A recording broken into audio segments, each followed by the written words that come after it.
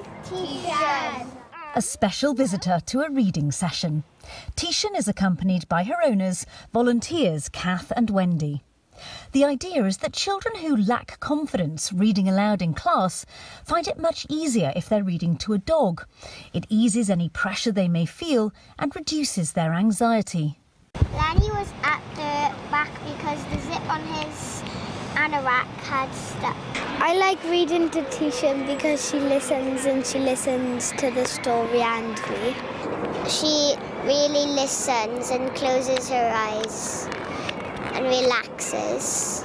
I can at least see two children per group that I know would not read to me openly. When they come in, they don't even see me, they don't see Kath and Wendy. All they see is the dog. All therapy dogs must pass an assessment to show they have the right temperament for the job. And it's not just the children who look forward to the visits. As we pull up to the school, there's great excitement, the tail wags. She knows. She really enjoys it. Wendy, who's deaf, now also volunteers teaching sign language at the school too. And as for Teisen, there's been research to show she really can make a difference. There is scientific evidence to back up that uh, touching and being in the presence of, a, of an animal will actually reduce your uh, anxiety levels. Teisen has helped with attendance too. You find it quite difficult sometimes coming into school, don't you? Yes. So what have you found that has helped you make you come into school easier?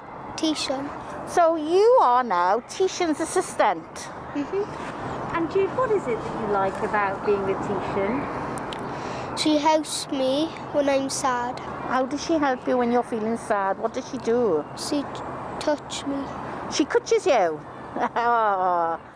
Like many charities, Pets as Therapy has struggled during the pandemic. It's had to lose staff. But despite the difficulties, they're looking to sign up more four legged volunteers. And it looks like someone is already showing interest.